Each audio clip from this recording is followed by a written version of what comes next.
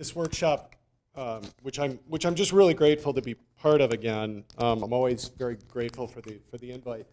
Um, you're probably feeling at this point that it's like two thirds content, one sixth bad jokes, one sixth old pop culture references, right? Um, I, I can't promise to get to Larry, Curly, and Moe um, that, that Craig did. How's that? Is that good? Okay. Um, uh, I am really proud. Um, actually, I don't know if I should say this out loud. We, we slipped a Mean Girls quote past the editor in this book chapter that, that Jim mentioned. So uh, complete with citation. Um, I had to look up how do you cite a movie, right? So I'm, I'm very proud of that. Um, okay, so I'm gonna I'm gonna continue from where Jim was, and I'm, and that was a phenomenal introduction with only one factual uh, repeated statement I need to correct Jim on because we're not that old. The, the, the, the early 90s references about modularity and quote unquote solving the number of clusters problems, that was actually only 2004. So we're not that old, Jim. We're old, but not. Um, so um, and yes, I've probably um, done the same thing. So my goal for this um, period is to sort of continue a couple different thoughts of uh, the material that Jim kicked off well um, with a real focus on this question about the resolution parameter, and then introduce you to some much promised code if you've been, well, you've all been coming to these, or the vast majority of you have been coming to these in previous years, or if you've looked at the materials that are online. Um, this is sort of the latest update, finally getting to do some things in R that I've been promising for years that you would be able to do in R. It is not, and Jimmy's laughing at me, um, I am not a developer. Um, my son is a software engineer. He um, has not volunteered to help me with this. Um, he's great, but has not volunteered to do that. Um, but uh, we are, we are finally going to have some of these things. They are not in IdeaNet yet. They will be, but um, in the Google Drive that you will have access to will be all the scripts that I will use, most of which you do not want to look at. I wrote three wrappers, um, so you can start doing things. But, but my one giant, I have takeaways eventually that I will show you on the slides, but my biggest like highest level takeaway is do not hesitate to reach out to me to try to use some of these tools. That's what we're here for. That's what we want to see actually happen. So um, what I want to do is, even though, even though Jim gave a phenomenal introduction to community detection, I want to share my own sort of personal favorite uh, greatest hits of community detection because I, I think it adds to what he said about reasons why you might want to do this. And so this is old work that um, Mason Porter and I did that was uh, led by um, Mandy Traud, um, Vanessa Red. Um, and this is, uh, this is a hairball. Uh, well, that you probably knew. This is a hairball representing what the Facebook friendship network looked like of Caltech users on a given day in early 2005. This is back in the very, very early days of Facebook where you needed a .edu address to do anything. And I've already suggestively, uh, suggestively uh, colored and Lucky Charms symboled the nodes um, according to the houses that these uh, Caltech Facebook users were affiliated with. So um, I have no personal experience with Caltech. I don't know if anyone in the room does. Um, the short version or the urban myth version of it will be that the students all show up and it's some like crazy self-sorting into these houses, um, these residential houses, and then they largely stay affiliated with the same residential house their whole four years there. And so, you know, this clumpiness that Jim talked about, well, we're not surprised to see some clumpiness according to the colors here. Um, and if we run an algorithm through here, so we just, you know, take some, this might have even been leading eigenvector. Um, so we take, an algo we take an algorithm, we shove it on this data. This is the exact same picture or the exact same underlying data now with an additional layer of community assignments to each of the Facebook users in this graph into however many pie charts there are there. I think there's roughly 12. Um, and now the colors are still coding what house are they affiliated with. This was like just pure happenstance luck of running an algorithm at the default. This is pre um, knowing about resolution parameters, and it just kind of worked, and we were able to tell a story. And um, that story, as you can see, is that for the most part, it seems like the, the houses are very well aligned with these communities that were identified algorithmically. So, so importantly here again, I need to emphasize that this house attribute on each Facebook user is not something that was used by the community assignment algorithm at all. The community assignment algorithm was purely this modularity maximization via a particular heuristic, uh, a la what Jim was talking about, and then we are comparing and contrasting that each one of the communities has some number of users who have that house attribute self um, reported on their Facebook page. Um, there's a whole data privacy story that would be very entertaining to tell right here uh, relative to our ethics uh, discussion. Um, I don't know that I want to uh, uh, embarrass myself too much by going all all the way down that road. Um, we know far more about this data than we ever should have. Um, in a great moment of um, doing the obvious thing and having it work out, Eric Kelsic, who was the second author on some of these papers, decided to do the simple thing and just plot a histogram of the number of Facebook users at Caltech. He was a Caltech undergrad at the time, so he's sort of, you know, that, that insider knowledge is useful. Plot a histogram of how many Facebook users had reported being members of each of the houses in the data set that we had. And it needs to be stressed, Facebook did not tell us what, um, what the houses were here. They just gave us, you know, purportedly anonymized um, numerical values for each of the houses. And they were just something bland like 185, 186, 187. So he plotted this histogram. And then while he was at it, he decided to go look in just sort of some Caltech fact book a, a, histogram of the number of people who were affiliated with each house, and the shapes of these two histograms were almost identical. Um, the, the, the one in the fact book was, of course, just listing the houses alphabetically. The histogram for the, um, for the for that he had made, you know, of course, had put 185 before 186, 187. He called up his Facebook contact. He just goes, it's just all alphabetical, isn't it? Yeah, so um, we're not supposed to know that these two houses are actually right next door to each other on one end of campus and are well known for having a lot of social interactions between them, but, but now we know that. We also weren't supposed to know um, the, the, at the time, binary gender uh, identifications in the data. They just, you know, there were ones and twos, and, you know, is one male and two is female or the other way around? Who could possibly know? Well, if you give us the data at Wellesley College, it's not too hard. Um, so uh, yeah, so these two are really close to each other on one end of campus. That makes sense. Um, this little Pac-Man looking thing here is a, is a particular house that they were interested in.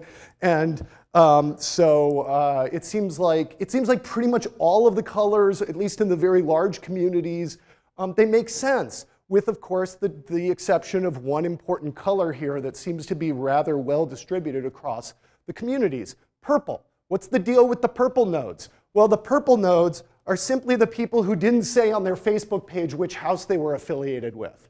So simplest data imputation problem ever, solved. Um, if I'm throwing a party for Lloyd House here, which is the yellow, I think, I'm certainly inv inviting everybody in the purple wedge. Um, so you can do a lot of really basic things with community detection. And what I want to do here today is basically show you some slightly more advanced things that touch on um, the, some slightly more advanced tools that I want to encourage you to use that touch on some of the issues that Jim introduced. Um, there, there is an R Markdown file that I will walk us through because I don't dare like try to type in public, particularly with a taped up finger. Um, and it's uh, designed to talk about two algorithmic approaches that we're going to try to uh, introduce you to here. Um, I loved Jim's comment about like you just need to create a new community detection method. We aren't going to create a new method. These two methods instead are going to be post-processing methods to try to clean up the results that you get from all the other methods. So you'll see those um, in play. Throughout, what I really want to be repeatedly emphasizing is you know, unlike that great dream that Jim talked about in the early days of the introduction of modularity, where we thought this was solving the how many clusters problem, it doesn't. This is just another form of unsupervised clustering of data specific to a network's context.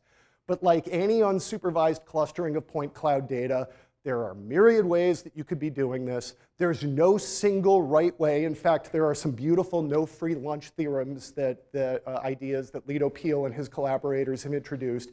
Um, you have different algorithms. The algorithms have different knobs on them. Uh, Chris Danforth at University of Vermont, I always loved it uh, to, to quote him that he said, every good microscope needs at least one knob.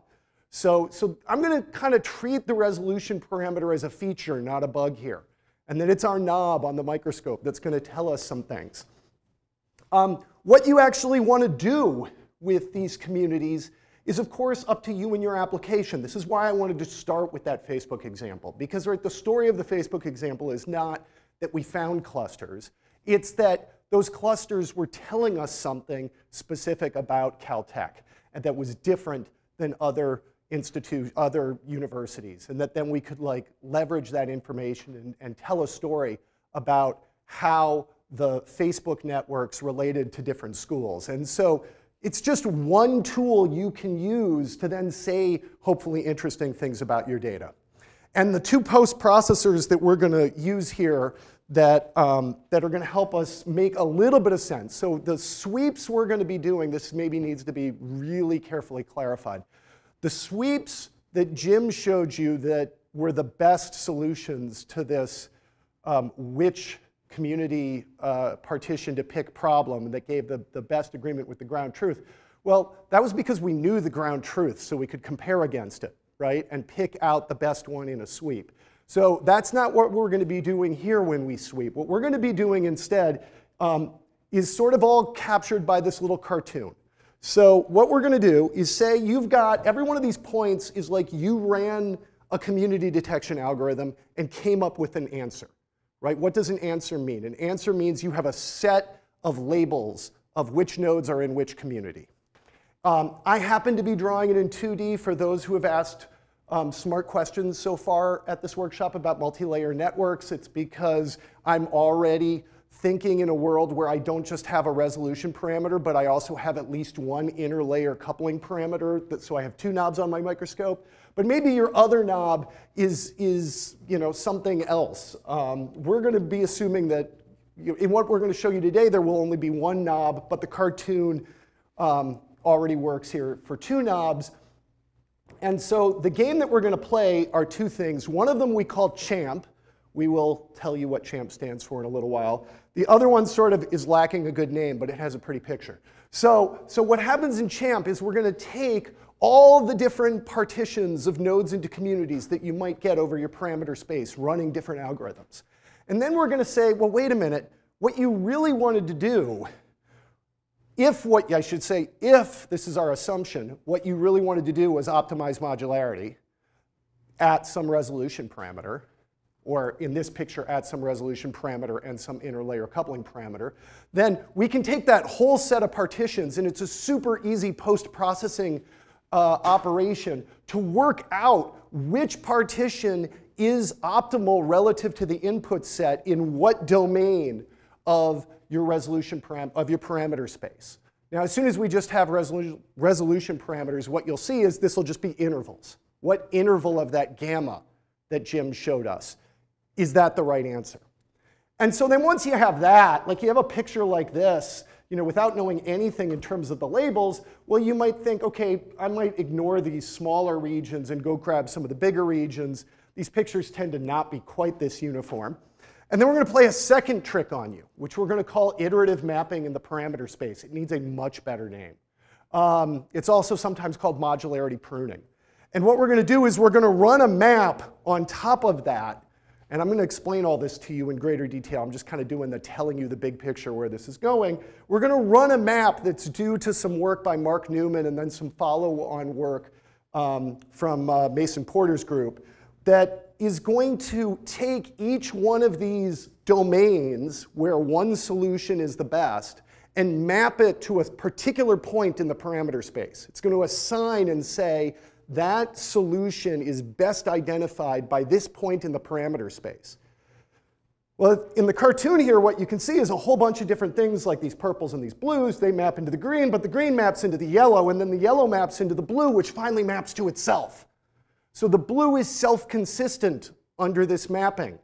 that the point of the parameter space associated with that set of community labels is actually a place where it is the optimum modularity solution.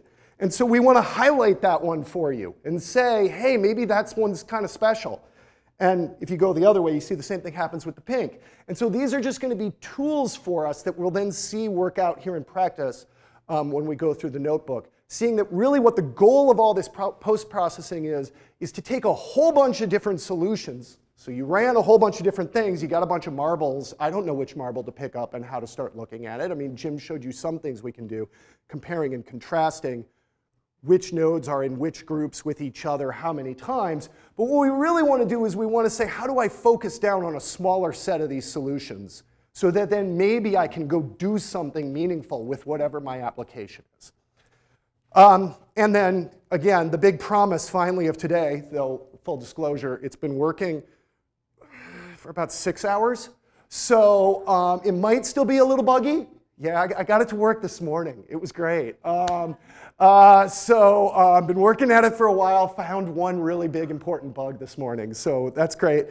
Um, so I'm pretty sure it works. Your mileage might vary. Do not hesitate to contact me. We want to get this working. If you happen to be a Python user, these two packages for CHAMP and for this iterative parameter mapping are far, far more robust than something I got working six hours ago. So um, feel free to use them, but also feel free to let us know how these things work in R. So again, going into all of this, if the simple thing works, do it. This is the typical thing that one might do right? You load your data, happens to be the Zachary Karate Club. Everybody knows the story of Zachary's Karate Club? Yes, no, maybe? No. Oh, that's going to be fun. Okay, we'll share that with you in a second. Okay, so Zachary's Karate Club just happens to be one of the standard data sets that you can find in iGraph data. And then you pick your favorite cluster routine out of the many things that exist in iGraph and you run it and it gives you a partition. So partition to me is the set of community labels. Every node has been put into a community. It's a hard partitioning.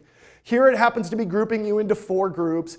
It tells you that the modularity, and when it says modularity here it means with gamma equals 1, happens to be 0.44. It tells you who some of the groups are. It draws a pretty picture for you. If you're happy with that pretty picture and it matches with your story, you're done. You go home. You're very happy.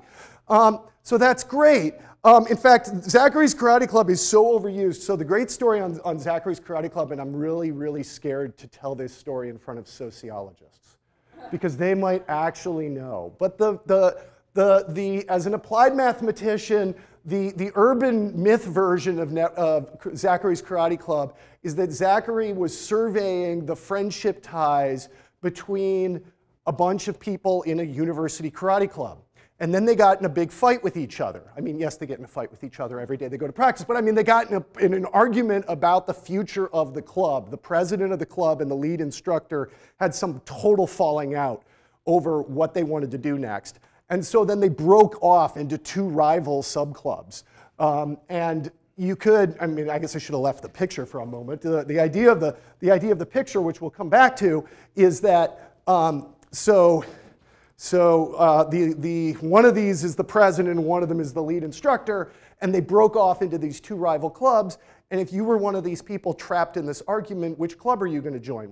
If you, have a, if you have a dog in the fight, the repeated uses of the word fight here are kind of funny, but um, if, you, if you really cared about what the substance of the disagreement was, that might influence which club you join. If you don't care, you're going to go to the club where all your friends are. And so sure enough, this thing fractured basically pretty much exactly right here. And these two subgroups went off and joined one group, one club, and these two jump, went off and joined the other club. Um, person nine is always the one that like an algorithm might get wrong by putting on the wrong side of this split. It sort of depends.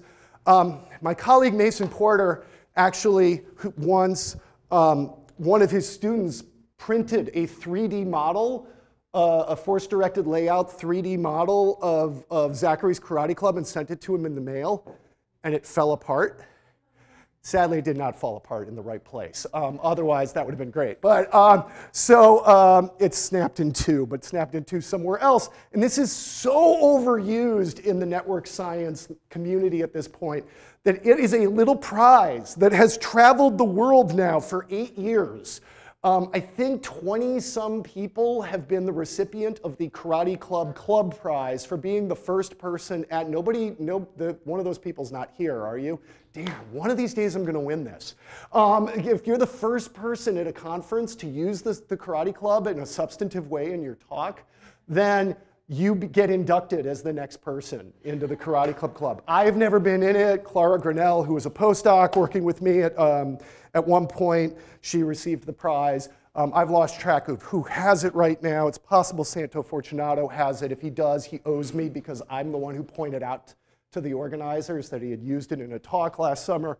Um, this is also so overused that, so this is just another force-directed layout of the same of the same network, um, that when we held, in a long time ago now, 2010, 2011, we had a whole program year at the Statistical and Applied Mathematical Sciences Institute, SAMSI, um, which used to be an NSF-funded math institute here in the Triangle, joint between Duke, NC State, and UNC Chapel Hill. We had a whole program year on complex networks and the statistics and applied mathematics of, of it. It was great. Eric Kolaczyk, um, who was then at BU and is now at, where is Eric now? He's at McGill?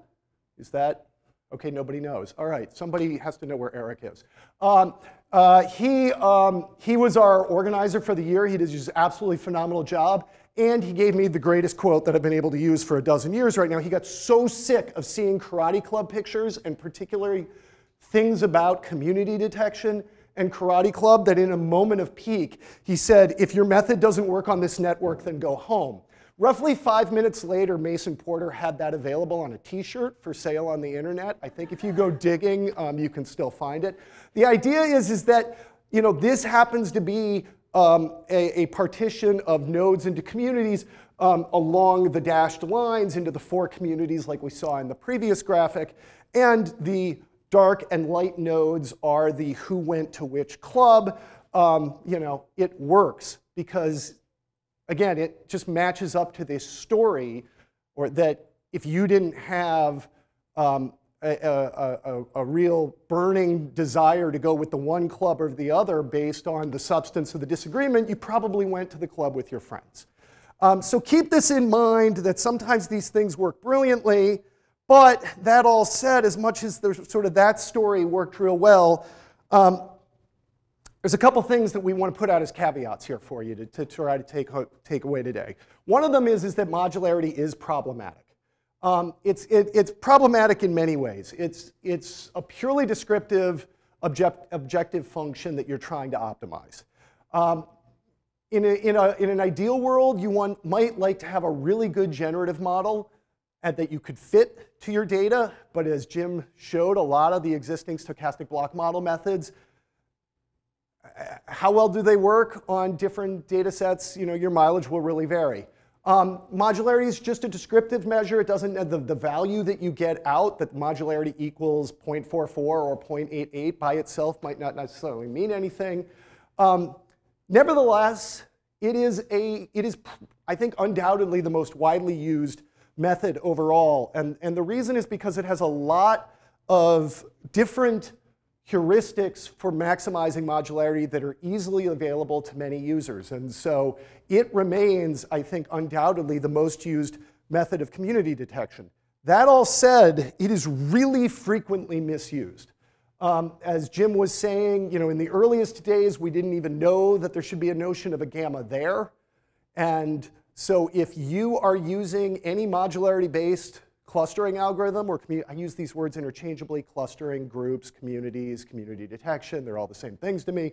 Um, if you're using an algorithm to group your nodes into communities and you didn't pick a resolution parameter, well, you did, right? You picked whatever the default was. And the default might just be one for modularity maximization, or it might be something that's completely nonsensical and nowhere near a meaningful solution. So, you know, it's, it's important to know that that resolution parameter is there. And if you're doing anything with multi-layer modularity, um, there's at least one more parameter that's controlling the coupling between the layers. That's a topic we will not go into in depth at all today because um, I don't have working R code for that. If you want multi-layer modularity, go look at those Python GitHubs that I mentioned. Um, it needs to also be emphasized that a lot of the different heuristics, so many of the uh, cluster algorithms that Jim was referencing, they have inherently pseudo-random um, effects in them somewhere. Often it's because of what order the nodes get, get selected for different, um, for different choices to be made. And so because of that pseudo-randomness, it leads to uh, stochastic results. You don't get the same result running it over, running it um, repeatedly, you know, unless of course you fix the random seed, then that's the whole point of fixing a random seed, as we will see. Um, and so this can give you a lot, these, these stochastic variability running the different heuristics means that you're going to generate a lot of possible solutions that then you need to compare against each other or you need to somehow filter out, and that's why we're going to filter them out. So our, our, whole, met, our whole mission here is that if you're going to use modularity, we want to help you use it right. And that's why we developed CHAMP and this iterative parameter uh, space mapping. So Jim already went over this, but just the, the, the quickest high point again, um, just to fix some of my notation. So Q is the traditional letter used for modularity. It also uh, very nicely stands for quality. Um, you can get into a nitpicking semantic argument about whether or not modularity means gamma equals 1, or do you mean the general, sen, uh, the general set of modularity-like objective functions for the quality of a partition where they depend on gamma? I'm going to do the latter, use modularity and quality interchangeably here. Um, the, the notation I'm going to use is that sigma is going to denote one partition, so one set of community labels, and um, and this is the same sum that Jim talked to you about before. Aij is just my data. Pij is some null model that in, for undirected networks is typically uh, the, degree, the, the node strengths, ki and kj, multiplied by, uh, by each other, divided by the total weight of edges in the network, um, double counted. Together, this is called the modularity matrix. It's useful to call it a matrix because that's where the eigenvector pieces come from you're doing um, eigenvectors of that matrix if you're using a leading eigenvector method. And then again, that's that indicator where um, I'm now noting again within partition sigma, um, what's the community that node i has been assigned to, what's the community that node j has been assigned to. This is just 0 or 1 if they're the same, or well, if they're different or if they're the same, respectively. Um, one very typical confusion I'll just inject here for you. Sometimes you will see, particularly from early uh, developments in the introduction of modularity, you will see it not written as a sum over node pairs, but instead a sum written over communities and the nodes that are within those communities. It's basically because of this indicator that those two formulations are identical, right? Again, this is only one if i and j have been placed in the same community. So you can very trivially drop the indicator and instead write this as node pairs i and j that are in the same community. And so those, um, those, that's just worth sort of pointing out to everybody. And again, the goal is to find a partition sigma of nodes into communities that maximizes Q for a given resolution parameter. And uh, you know, again, I like to think of um, the, resolution parameter here is just my knob. If I tune it down and I tune it all the way down to zero, what happens? If I tune it all the way down to zero, this very hard, and hard in a computational complexity sense, NP hard optimization problem becomes trivial. Because if there is no p, because I make gamma equal to zero, then all I need to do is pick the community labels that maximize the total weight of edges within the communities. So take any connected component, wrap your arms around it, and call it a community. And that will be the answer. Um, as soon as you start making gamma larger, oops, go back. Um, as you make gamma larger and larger, what are you doing? You're increasing the cost that you pay for putting two nodes into a community together.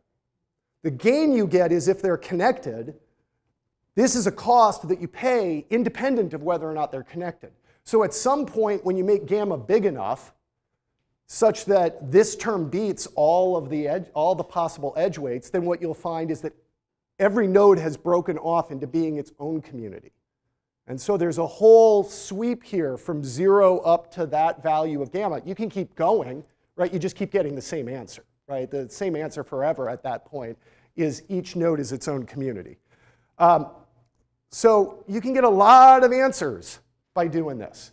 And so what we did in this paper a few years back is try to give you a way to post-process those answers in a meaningful way within this modularity context. And again, at, we're going to be completely agnostic from this point out. In the theory, at least we're agnostic about how you got your communities. We can take any set of partitions you want. We're just going to then post-process them, post-process them based on this notion of modularity. That said, in practice, what you will see in the R notebook is we will use one and only one type of function to generate our communities, and you'll see why. Uh, so we developed this CHAMP method, the convex hull of admissible modularity partitions, right? It's got a much better name, though, than iterative parameter space mapping, so I still need help with that. Um, and so here's the idea, and the idea is going to be demonstrated on one of my other favorite community detection uh, uh, network stories, which is college football. Um, Duke, maybe not the school to hang out and talk a lot about college football, but you know, we're going to do it anyway. Um, so th the reason why I like college football as an example for community detection is that if you know anything about college football, you've probably heard words like the ACC, and really if you just know anything about college sports, you've heard words like ACC and the Big Ten and the SEC, the, the different conferences that Div 1 college sports um, are divided up into. And, and in particular, in college football, you play many, many more, many, many more games. Sorry, did I not, did I not uh, carefully represent my Pacific Coast friends? Um, they're over there, they're over there complaining about East Coast bias right now. Um, so uh, probably correctly. Um, and, and so, um, right, you play many, many more games. Um, like you know, USC always plays UCLA, right? Yes, okay, so there we go. Um, you always play more games within your conference than you do outside your conference. And so this should be a very clustered network. And if you shove it in, I don't even remember what force-directed layout this is. Every single node is a school. They're color-coded here by their conference affiliation. This is only the, what were then called Div 1A schools um, in, uh, for the 2000 uh, football season, right? This is now the football bowl subdivision people. Um, I've lost track of who's where in this diagram. This should be really, e I have done nothing to doctor where the nodes are on here. I've just dropped it in a force-directed layout. It should do a really good job of easily pulling out the conferences. And yet, when you go, when you go run and you're going to see some absurd numbers. Like we ran community detection using the Louvain algorithm 50,000 times. You do not need to run it 50,000 times. But it really actually doesn't take that long to run these things, actually, uh, uh, because the codes have gotten to be so good. Um, so we're going to run community detection 50,000 times using the Louvain algorithm, and we're going to do it over a whole bunch of different values of the resolution parameter running from 0 to 6. And we're going to plot for you here two things. The, the, the red is the value of this modularity, that is the quality, um, as a function of gamma. And the orange is how many communities did we get in that answer. Now, if I look at, I, and I don't find this picture very satisfying, because, okay, um, what's happening? You, you get a very sort of clear envelope here in red, which is expected because um, it is well known due to some work um, by Aaron Clauset and, and others that there are many nearly optimal uh, partitions, uh, nearly optimal local solutions to these kinds of community detection problems. And so the heuristic is not guaranteed to get you the global answer. Um, instead, right, it's, it's, it's a heuristic, it's getting something you hope is good, and in many cases you see it got a value of q that's, that's very close to the, the max it ever sees at any given value of gamma. So it seems to have sort of swept out um, a little envelope here. And yeah, in some cases the values are, are, are well below, but you gotta remember there's 50,000 red dots here. So having you know, a handful of them below the curve is, is not a lot of times that it didn't work. More worrying to me looking at this picture, and again, this is supposed to be a really easy case. Looking at this picture, it's like, well, I have to squint, you know, to sort of be like, okay, I mean, yeah, it's the number of communities, read the number of communities from this side. Um, you know, two, four, six, eight, ten, eh, 12 communities for a little range here. Is it 11? Is it 12? Again, at different values, you get slightly. In this range, I either get 11, 12, or 13, depending on you know, just what happened with the pseudo-random selection of the ordering of the nodes.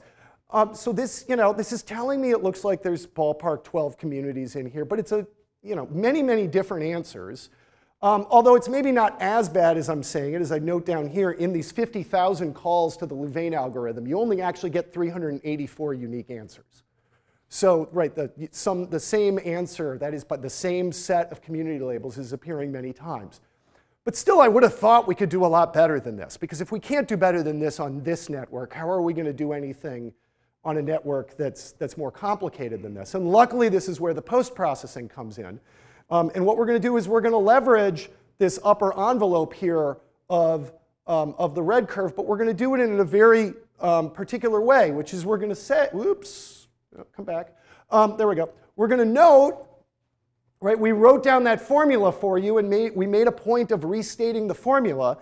And the point is that while over here I'm plotting for you what happened at a selected value of gamma, and I'm plotting that value of q that we got when we put that value of gamma into the algorithm and got out some communities and got out a q, the formula for q as a function of the community labels is actually just a line in gamma, right? It's a, it's a trivial rearrangement of terms here to pull out the gamma. There's this thing, which is the total weight of edges within the communities, minus the total weight of the penalties that you pay for putting nodes in the communities. And so I'm just going to take this whole sum. It's just a number, right? It's just a scalar that comes out after I do that number. So I'm going to call it a hat for that partition sigma. I'm going to call this one p hat for that partition sigma.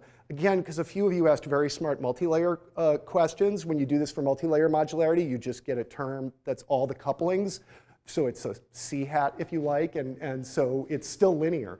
So the point is, is that when, every time we found one of these answers over here, our 384 distinct unique answers, we didn't get a single point of Q versus gamma. We got a whole line of Q versus gamma. And so let's just plot all of the lines that we got from those 384 unique partitions that we found by running this 50,000 times. And if you plot all the lines, then you can pick off the line segments that make up the upper envelope of this curve. And, and this is the cool thing, that there are only 19 of those 384 answers that ever land on this envelope at the top. You're like, where, where did the other 360 of them go? There are lines down here. It's sort of hard to pick one out. But I mean, there are lines underneath here that um, I think there's, a, there's at least one here. I mean, they're just all over the place. They, there's lines that are coming down and they just sort of don't quite kiss the envelope. They always stay just underneath the envelope. Is there useful information in those other 360 some answers? Well, I mean, very likely there's, there's something useful in there. But if the whole point of finding communities this way was to do so in a way that maximized modularity, none of those 365, I can do the arithmetic, um, uh, none of those 365 answers are the optimum anywhere at any value of gamma. They're always beaten out by one of these other 19. So that's a huge win, right? If our goal here is to take the big, you know, the big bag of marbles and squeeze it down to a, a, a much smaller number for you to consider, well, we've, we've already gone from 384 down to only 19.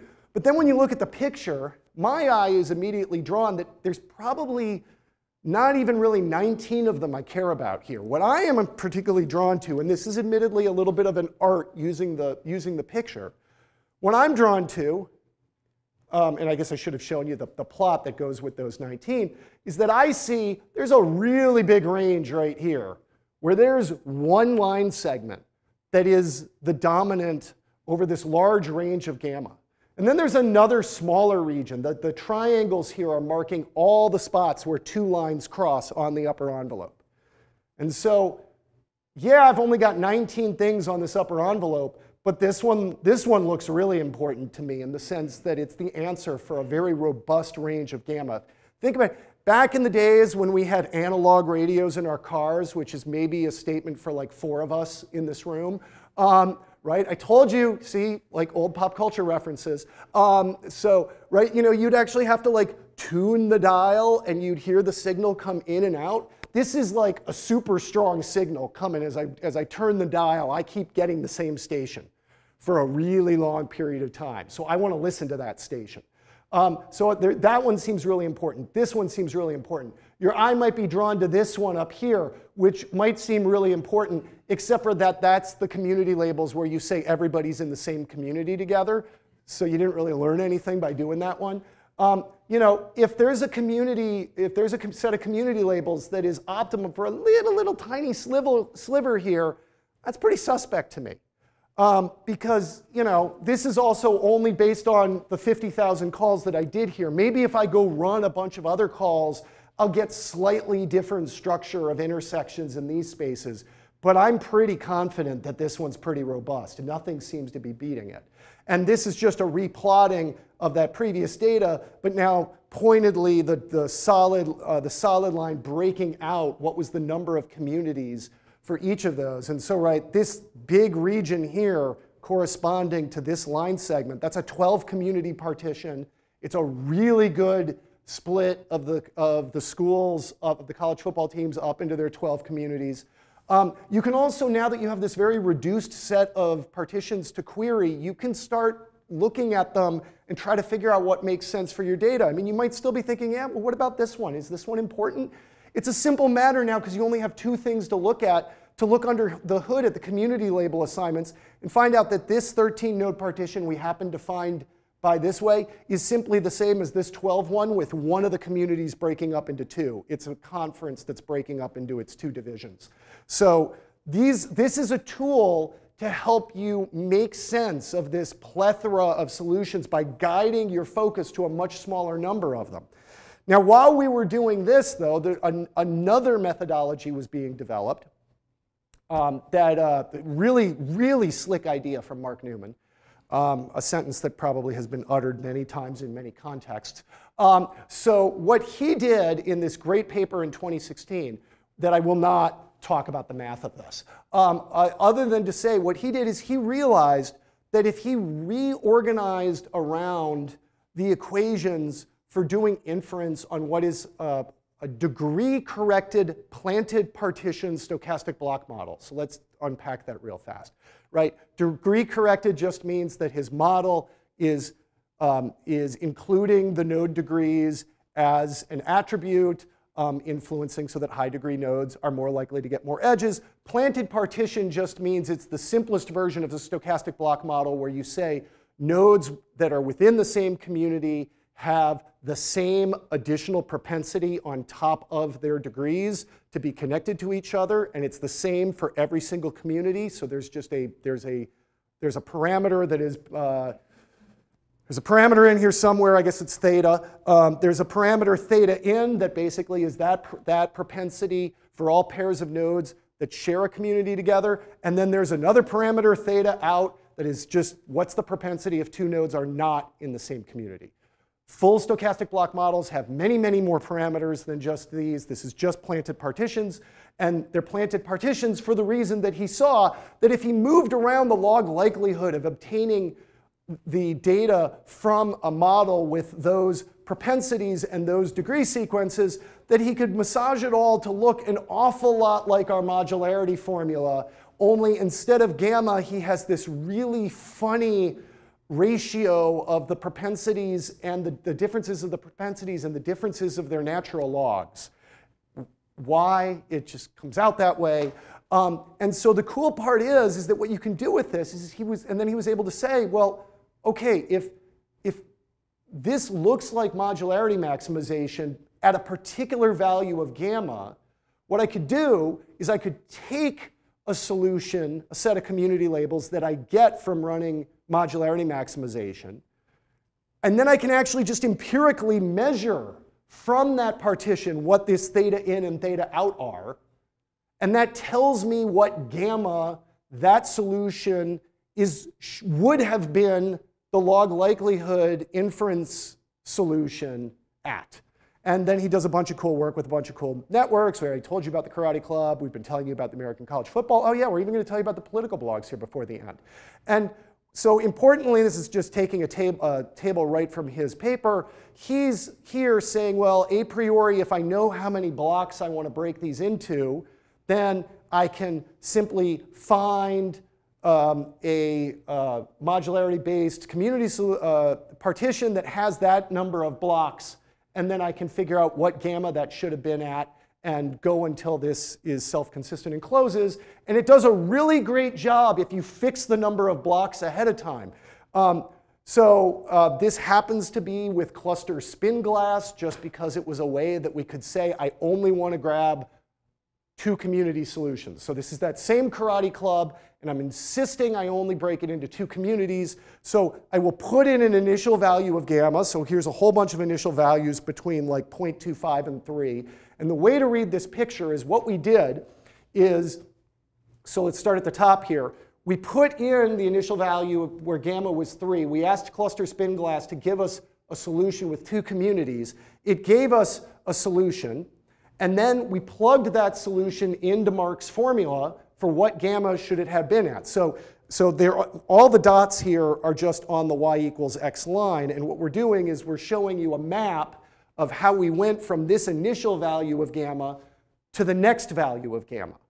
So we started at 3. Mark's formula took that two community solution and said, and no, you're supposed to be here at like whatever it is, 0.78, whatever it says over there.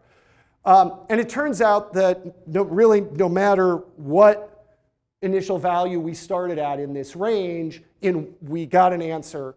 And in that one step, already Mark's method said, well, no, the, the gamma that corresponds to the solution, they were all the same solution, um, should be 0.78. And so then you run it again at 0.78, you get the same answer, you're done, it's all converged, and it's in a fixed point. Remember, the Karate Club. This is the Eric Kolaczyk famous, if your method doesn't work on this, go home. Okay, well, what if we don't know how many communities we want to break our data into? And instead, we say, all right, I'm just going to let k be whatever comes out of running things. So we'll use the Louvain algorithm. And if we start at an initial value of 3, then it starts over here, and the first step, if, because it found many more than two communities, only steps over um, one little bit. And if you start at very small gammas, it only steps one other version over bit. And now it's, I'm really wondering about the colors of this picture that I showed you, um, because I'm sort of missing, missing a bunch of colors off my slide. I apologize. Um, it's worse than just that they stopped in different places. It's that now you can start running this map. And so if you um, if you start down here near the bottom and you get a two community solution, it's going to tell you, as we saw over here, that the two community solution that it finds is associated with a gamma of 0.78. But then if you go run your code at 0.78, like 95% of the time, it's going to give you a three community solution. And about 5% of the time, it's going to stop and say it's happy there. But the other 95% of the time, it's going to keep going. And then it's going to tell you that that point, that that three community solution has a gamma that's somewhere here just below one. And then most of the time, but not all the time, it's going to tell you that instead of stopping there, it's now a four community solution and it's going to keep moving. Um, and so what's missing from this figure, I apologize, but I'm trying to communicate in words, is that here I was with the arrows trying to show you where it went in one step, and the blue where it ended.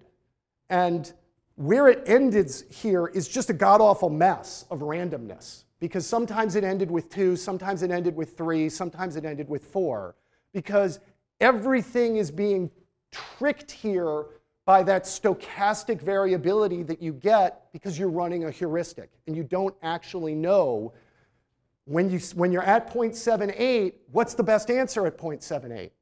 Right? You just run Louvain once, it either tells you it's two communities or it tells you it's three communities. You're sort of, you're, you're, you're letting yourself just be run by the randomness here. Well, how are we going to clean up randomness? We just did that, right? We had champ. So let's take, and again, this was the, you know, go home if this doesn't work. So here's the big idea with the iterative, the iterative, the, the iterative parameter map. We're going to run Newman's iterative scheme But we're not just going to run it and recompute communities every single time. We're going to run CHAMP. We're going to break everything up into this small number of communities, I mean, small number of partitions for us to consider. And we're only going to use those that we found that are anywhere on that upper envelope to run the iterative map. And that's just it. Now, is, it, is there still a little tiny randomness here? Yeah, way back at the beginning, how many runs do I do that I feed into CHAMP to begin with? There could be some variability back there. But once you've run your initial set of partitions, everything about this map now is deterministic. And it's a deterministic map with some nice properties on a finite, on a finite state parameter space because it's not all possible values of gamma, right? It's only the gammas that are associated with these intervals. And so you're all but guaranteed to end up with a fixed point here. And so let's just see how, how this works. Wow, where, okay, I don't know what's going on with the colors on this computer. Um, all right, well, in the PDF that you, will, that you have for download, um, there, are some, there are some beautiful extra gray arrows on these, on these figures that do not appear good. Is somebody, you're actually looking at it and you can see it. It's not just me. I'm not, okay, I'm not hallucinating the gray arrows. Okay, so in, in some ways, actually, it's maybe better for me to describe what the picture will be look, look like when you open the PDF. Um, so, right, here's our here's here's the out one way of representing the output of champ for that karate club and this iterative parameter space mapping um, the one community solution is bad we ignore it um, if you go look at mark's formula it doesn't actually map to anything because it's degenerate right there is no there is no theta out to compute anything because there are, there are no pairs of nodes that aren't in the same community. So nothing happens with the one community solutions. Um, what is supposed to be here is a single arrow that points from the middle of this two community, uh, this little line segment. So this line segment is saying that there is a single two community solution whose domain of optimality runs from this value of gamma to that value of gamma.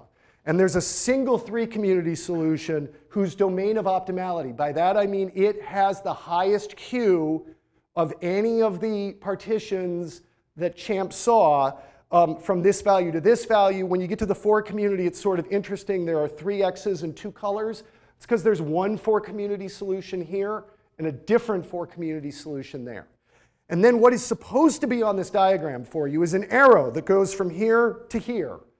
And so that's that, okay, yeah, there is a two community solution, it's optimum, but its gamma it actually is associated with in Newman's iterative map in his equivalence with, with stochastic block models is actually at this value of gamma. So it's not a fixed point of the map, it points to the three community solution. And so then once you're at the three community solution, it actually points to the four community solution. And this four community solution points, so, and then everything. This is like terrible without the arrows to show you. They're just gray arrows. I don't know why they're not on the plot. Um, all of these flow downhill in the same way. And so it's kind of a beautiful singling out of this one four community solution that you should draw your eye to. Okay, so I want to then, with the last couple minutes that I've got, um, I want to show you some things actually that there's code and that there's code that's uploaded with some, uh, with some demos that you can play with. Um, again, do not hesitate to contact me. You can coordinates there. Um, if you want to run some very old MATLAB multi-layer modularity code, it's there. Um, these methods in Python are there. Bleeding edge um, attempts to do this in R are now finally in this notebook. Um, it needs to be said, even though I'm, I'm uh, you know, I need to keep this moving fast. Of course, none of this happens without the work of super talented grad students and postdocs and undergrads, actually. Um, so CHAMP was developed by William Weir. Uh, he was an MD PhD student in bioinformatics at, um, at UNC Chapel Hill. Um, Scott Emmons and Ryan Gibson were both undergrads working with me at, at, Chapel Hill. Dane Taylor was a postdoc. He's now faculty at Buffalo. Um, Ryan was then the one who did this whole combining of um, the iterative parameter space map into CHAMP. That's a paper that just came out last fall. And the implementation that we're going to show you here was all thanks to three Dartmouth undergrads, uh, Rachel, Matthew, Ryan Rebney, and Ava Sharps, uh, Sharfstein. Um, so let me just show you the quick pictures because what do I, what do I got? I've got like eight minutes. Yeah, okay. so let me just show you the quick pictures here. So, all right, um, there's, a few, there's a few things you got to do. I'm really glad I'm not doing this live. Although, really, the truth is, the hitting run whole notebook, I mean, it's just done in like no time. It's just a great feeling. Um, so we're going to do all of this in iGraph. Um, this will all get pulled into IdeaNet in the proper way. We're just going to load a whole bunch of stuff, tidyverse, ggplot stuff. The really important thing here uh, that is maybe not as big of a deal now as it was the last couple times we did this is that for what we're going to do today, you absolutely have to be running an iGraph no earlier than 127. Um, but that's like a year and a half ago now, so hopefully you are. This is 142. It's because starting in 127, Vincent Traag put his Leiden algorithm implementation into the main iGraph um, uh, library. What we're going to do, you do not need to look at any of these functions. Um, they're all sitting down in a subdirectory called champ map scripts. We're just showing you what nine R files happen to be under there. Six of them do things. Three of them are just wrappers to do those things. Um, and so we're just going to source them all in here so that you have access to them. But you, we're going to show you you only need to do three things. Um, and everything we're going to do is built on cluster Leiden because it is the single most robust method inside of the iGraph package for varying the resolution parameter um, in my experience. There's a lot more text in here you can read about. You can keep seeing my jokes about Eric Kolaczyk. So we can pull in the Karate Club data. And so, right, here's just another visualization of the Karate Club network. If your method doesn't work on this, go home. And so what are we going to do? So there's going to be three steps right? What have we laid out for you in this whole talk? What do we need to do? We need to get our bag of marbles, right? We need to generate a bunch of partitions to be interested in. That's going to be step one. Step two, we're going to run champ. And then as long as it's an unweighted network, I didn't say that before, but really strictly speaking, the, all that theory from Mark Newman only works for unweighted networks because of this equivalence with, a, with an unweighted stochastic block model. So, you, you know, all bets are off if you try to do something with weighted data. Yeah. Well, he didn't, nobody's done the theory for that to connect to it or not. Um, all the formulae make sense, and so I think you could pass weighted data into step three, the iterative parameter space map, but I just hesitate to endorse it because you're then, you've lost the disconnection to the theory. I think it might still be interesting in some cases. Um, okay, so we're just going to collect a bunch of partitions. I'm showing you the inputs for the get partitions wrapper. All it's going to do is run cluster Leiden many times. The default is 100 times. You know, um, at one point in the iterative mapping paper that just appeared last fall, there's a spot where we have plots for what happens on the Karate Club if you run it a million times. You're like, why? Because it took less than five minutes. So, you know, it's just not it's not a computationally intense thing. Um, we ran it 100 times. It tells you that you've got 13 unique partitions that were identified running it 100 times. Oh, and I should have said running it at 100 times in a, in a range of gamma that was, that was there. Um, okay, so that was, that was function one. Function two is just called champ. So you just feed it your network and the partitions that you got from step one, and it says that eight of those 13 partitions are in what we sometimes call the champ set, the set that actually lives on the upper envelope, and it makes this pretty little GG, that little GG plot for you. Um, super kudos to Ava Sharfstein for making these things prettier, um, and for Rachel and to Rachel Matthew in particular for fixing a lot of bugs, um, particularly in the multi-layer implementation that we're trying to do. That was weighted, so I'm just going to quickly redo it for unweighted. Um, so we're just going to do steps one and two again, right? Again, all we're going to do, generate a bunch of partitions. This time we're doing it on the unweighted data. We're going to get 16 of them. We're going to run champ. We're going to save it in partition summary. This is quirky in the current implementation. I want to get rid of this, but just to warn you, yes, we're doing this in an unweighted network, but the way that we currently have it coded to properly handle an unweighted network is to make it a weighted network with all the edges with edge weight 1. It, it works. You know, we'll fix it eventually. This is not even alpha level code at this point, right? Um, I guarantee you that the good developing people at IdeaNet will not absorb any of this into their library until it works better than this. So those were steps one and two again. We get a similar but different picture, right? Because it's now unweighted. It's not using the weights in any way. But again, every one of these lines is one of the unique solutions that was found, and only these I lost count. Was it eight? One, two, three, four, five, six, seven, eight. Eight of them are everywhere on the upper envelope. You're quickly saying, wait, why are they numbered 10 and 12? It's because it's not numbering just the ones that are on the upper envelope, it's numbering all the unique ones that were identified, some of which are not there. And then the last big win is that, um, and we get a lot of cool updates on this, is that, yes, the gray arrows are here now. Okay, so now you can see the gray arrows I was trying to tell you about. They show up now, good. Um, so now, right, this is just, this is the third function that you need to know about, which is just called get champ map because it's an iterative map on the champ set. So what you have to do is give it your network, the partitions you had found, this collection called partition summary that tells you all about the champ set and all of its wonderful properties, and you get out this wonderful answer. And so, right, you can read off the picture. What it's saying is the two community solution is pointing at the three community solution, which is pointing at one of the four community solutions, which is pointing at itself, and the other four community solution is pointing at it, and these higher numbers of community solutions are all just pointing down the hill, and they all meet in the center and tell you that's a really special answer.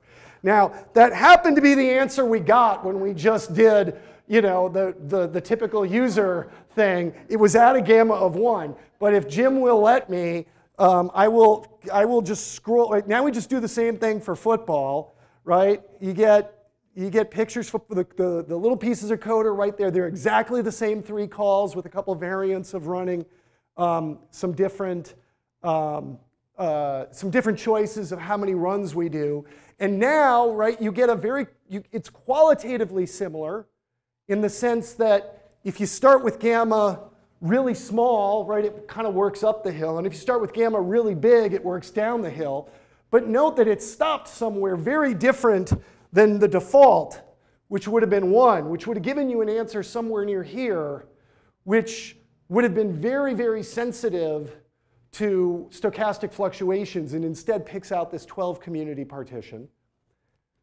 And I keep lying and saying one more thing, uh, saying that there's going to be one more thing. So just to show you that it gets like that it can work on, you know, better data, that down in this same notebook for y'all is um, doing this on this famous 2004 political blogs example.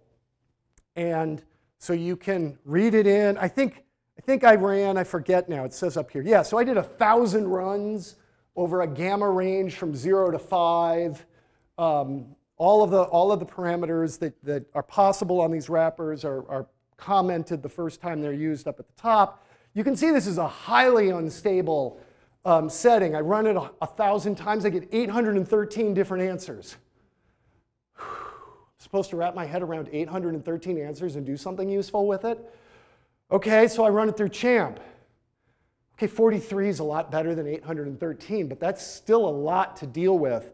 And so, right, then you go to the maybe art, not math version of it, and you look at the champ picture that got drawn, right? So there are 43 different line segments making up this upper envelope. Uh, I don't know. Are any of them, you know, more special than others? I mean, okay, there's a couple big ones out here. Maybe I'd grab those. Um, if I hadn't made my numbers so big, you might notice that some of these are sort of non-trivially big ranges maybe there's three of them there or four of them there. This is a little bit of an art um, to, to sort of focus your attention. So let's run the, the Newman's iterative map on it. And when we do, we find that only two of them are fixed points of the map. There's a whole bunch of stuff down here running uphill. There's a whole bunch of stuff here running downhill. They meet in the middle at a seven community solution, which you're thinking, why are there seven distinct communities in a political blogs network around an election? Hold that thought. This seems to be running downhill. It's stopping right here on the edge of a domain of optimality. This makes me a little nervous because maybe if I found another solution that would tweak this, this might not always show up exactly here. In fact, I set the random seed for a reason, which is because if you set it differently, sometimes it stops here, sometimes it stops here, sometimes it stops here, sometimes it flows all the way through. So this is to say you still have to try some things that are random, but my last, and this time, Jim, I promise I really mean last. My last observation is those seven communities. So right now, I'm really only paying attention to two partitions. We ran it a thousand times. We had 813 different answers. Even after running CHAMP, what did we have? Was it 43, something like that? We had 40 some answers. Now I'm down to just two. Phew. Right? So now I can look at those two and I can go, well, I have no idea why I'm getting seven communities in a political blogs network going into a presidential election. Ah, this is why I'm getting seven communities. I really only have two, which was what you expected, right? Um, I'm, I'm really only getting two and then a bunch of small things. And is that other one interesting? I don't know. Um, moreover, um, are they left leaning or right leaning? You can do a table. There's a value parameter in this data of are they left leaning or right leaning. Your table basically shows, yeah, the communities are basically left leaning and right leaning. And maybe very tongue in cheek after taking an hour of your time, um, I should say that, well, yeah, duh, it's pretty obvious I have two big groups in this data set. Because if you just run a force directed layout on it, um, this, is why, this is one of the force-directed layouts that comes out. So obviously, they're on an ideological spectrum um, at the two ends. So I don't know, did you learn anything from this final example that you wouldn't have known? Maybe that's the cautionary tale that goes in there too.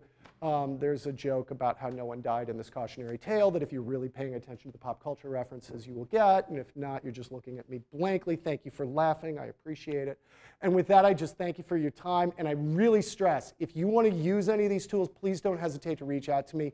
We want to see them used. That's why we're building them into R. We would love to help you work with your data.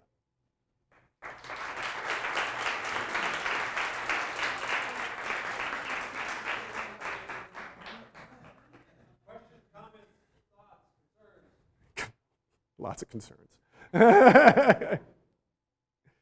Exhaustion.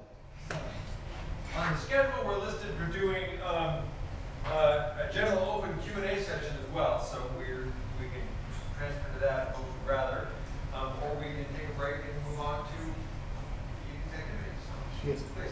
Uh, so I, I have actually seen InfoMap mentioned specifically um, with regards to finding communities and multiplex networks. Um, how does that exact, like, can you speak to that at all? Is that what you're running today? Is it in InfoMap or is that something separate? So every so the question is basically where is InfoMap in this, and what are the details with running InfoMap in this? So InfoMap is awesome.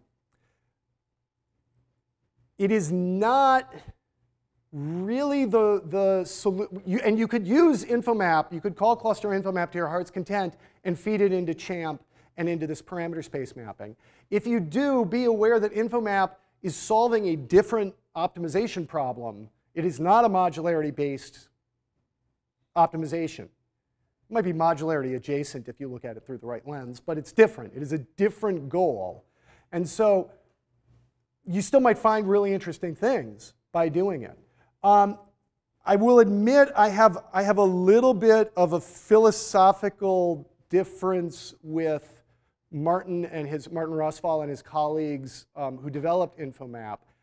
I insist they actually have something akin to, an, to a resolution parameter in their, formula, in their formulation that they've effectively just set to one. Um, and without, you know, it, it's a beautiful information theoretic um, mechanism. Um, the reason I make this claim, for those of you who care, if you're down in the weeds and you're interested, um, uh, one of the same undergrads who was involved in some of this work, Scott Emmons, has a beautiful paper about doing clustering, uh, generalizing InfoMap to a situation where you also want to include node attributes as part of the information that's being used in the codebook that InfoMap is building. And when you do that, you have to introduce a parameter that effectively relates to what's the, what's the information cost per using the channel that feeds you information about the node attribute versus the one that feeds you information about the two different kinds of information being used in the network attribute. But note there's already two in- kinds of information in this channel and only one kind of information in this channel. So why can't I break the original InfoMap channel into two and pay a variable cost on the two pieces of it? Um, that's heretical to, to the InfoMap people, though, so that might just be my personal opinion.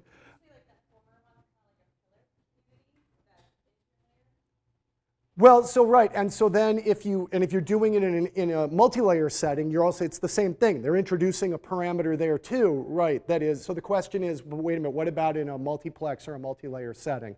Right, the same thing happens. There's an additional parameter introduced, and so so, but I'm still insistent that there's a spot where they're shoving two pieces of information through one information channel that they could break into two different channels and pay different costs for it, just like you pay a different cost for the multi-layer edges, just like you pay for the network attribute information.